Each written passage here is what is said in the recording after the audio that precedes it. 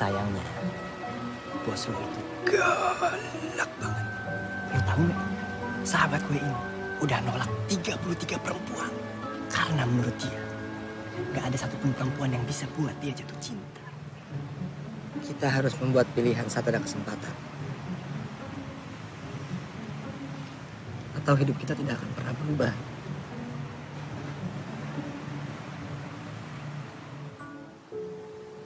Bis, aku rasa sebaiknya kita jujur sama diri kita sendiri. Demi kebaikan kamu dan aku ke depannya.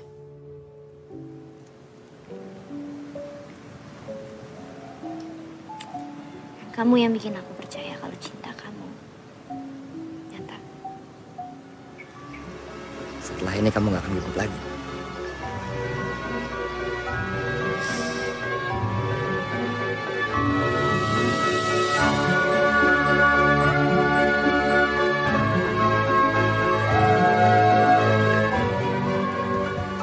Halo guys, apa kabar semuanya? Semoga kalian semua selalu dalam keadaan baik-baik saja. Hari ini kita akan membahas sebuah film berjudul Wedding Proposal yang rilis pada tahun 2021. Bagaimana ceritanya? Langsung saja kita ke alur ceritanya.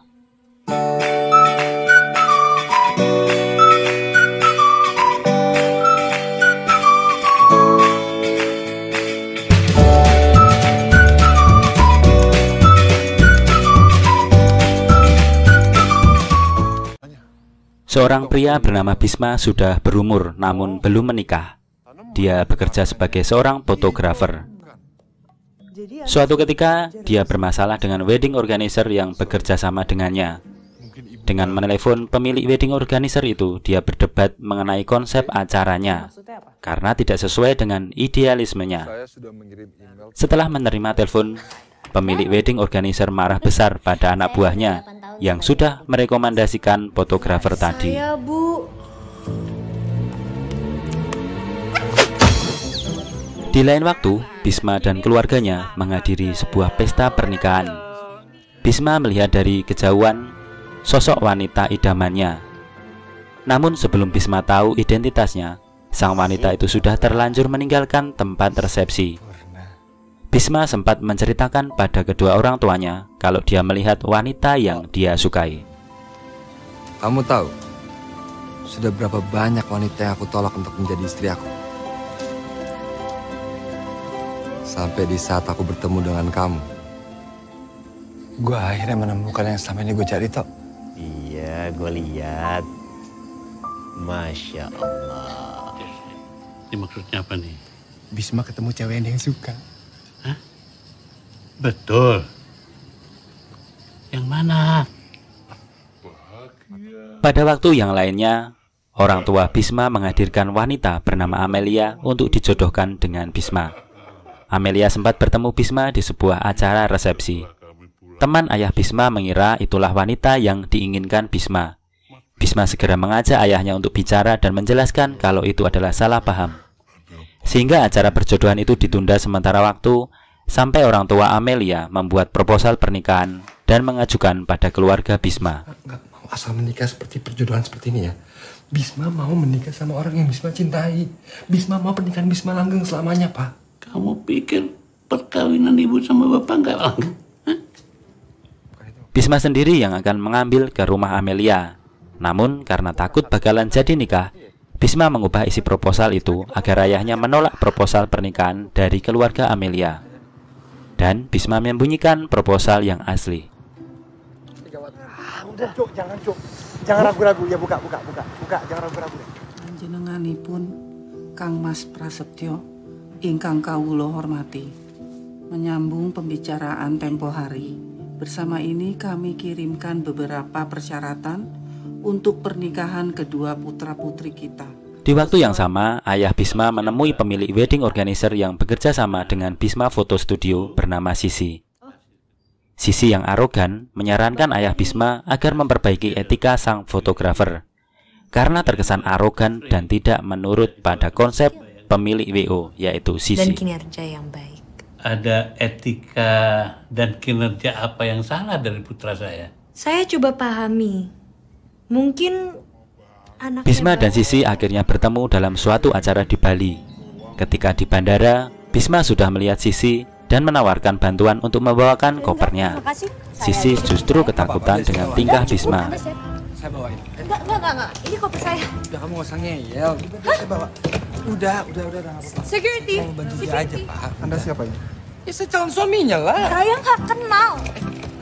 Sampai di lokasi acara, Sisi malah heran mengapa bertemu lagi dengan Bisma.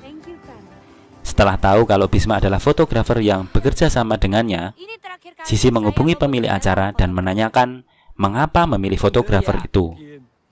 Pemilik acara mengatakan kalau dia sudah cocok dengan Bisma. Yang pilihan Anda. Menurut saya ya, ada beberapa fotografer rekomendasi saya nih yang jauh lebih bagus daripada dengan fotografer itu. Saya udah cocok dengan dia, Mbak. Keberadaan Sisi di Bali sudah diikuti oleh mantan pacarnya. Hal itu diketahui oleh Bisma.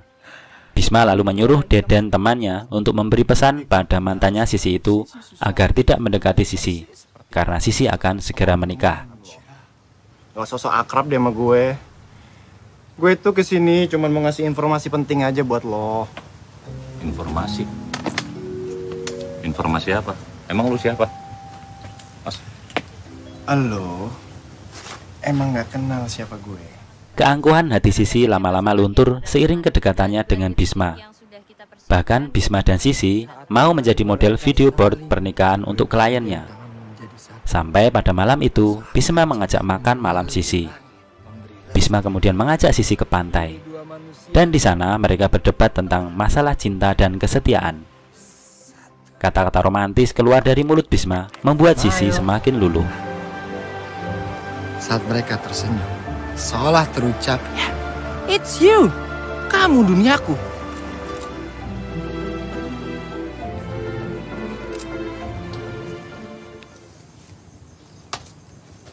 saya mau ajak kamu makan malam nanti.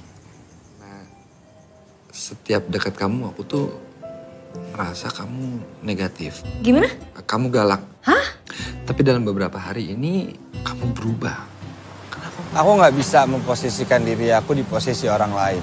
Hmm, Tapi soal cinta aku percaya. betul. Soal kesetiaan aku nggak tahu. Ayah Bisma tanpa sengaja menemukan proposal asli dari keluarga Amelia yang disembunyikan oleh Bisma. Bisma disuruh segera pulang dari Bali dan kembali ke rumah untuk membicarakan hal itu. Ayah dan ibu Bisma saat itu marah besar. Lalu mereka berdebat mengenai masalah perjodohan. Sedangkan ayah dan ibu Bisma adalah korban perjodohan itu sendiri. Karena tidak enak dengan kedua orang tuanya, Bisma berniat mengubur impiannya untuk mengejar Sisi. Aku, Pak. Sekarang aku tanya sama Bapak.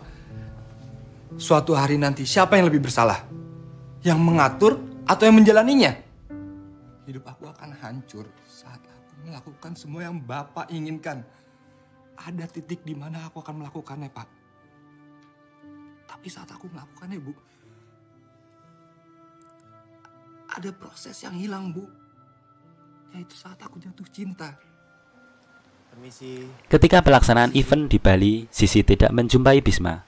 Sisi bahkan mendapat kabar dari Deden temannya kalau Bisma akan segera menikah karena dijodohkan oleh orang tuanya. Balik lagi ke sini. Selama sebulan, Bisma sempat menghilang. Sisi merasa kesal karena Bisma meninggalkannya begitu saja tanpa kabar. Bisma. Kenapa Bisma nggak balik ke Bali? Eh,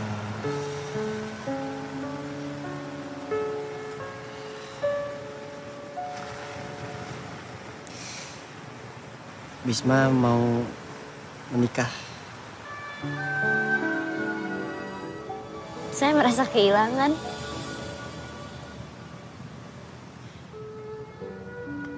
Bu, kita tuh harus selalu ikutin kata hati kita. Kita nggak boleh terbelenggu dengan masa lalu. Dalam suatu kesempatan, Bisma dipertemukan lagi dengan Sisi tanpa sengaja. Di situlah Bisma menceritakan apa yang sebenarnya dia alami.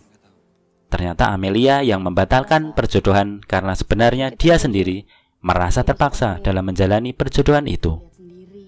sehingga Bisma bebas menentukan jodohnya sendiri. Jago moto lagi. Betul tak Kang Mas?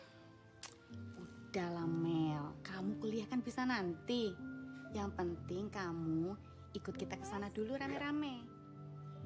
Sebagai orang tua, prinsipnya saya mendukung apa saja yang kiranya bisa membuat Amelia bahagia.